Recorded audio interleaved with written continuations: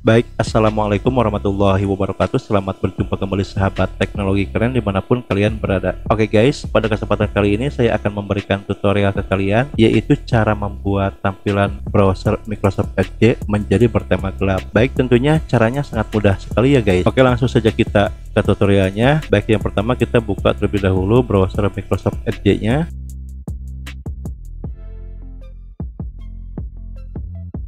baik selanjutnya kita klik menu titik tiga ya guys. Posisinya ada di sebelah kanan atas. Oke. Okay. sehingga muncul tampilan pilihan menu seperti ini. Baik dan kemudian kita klik pada menu setting.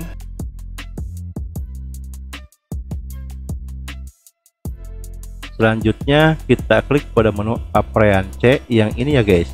Kita klik.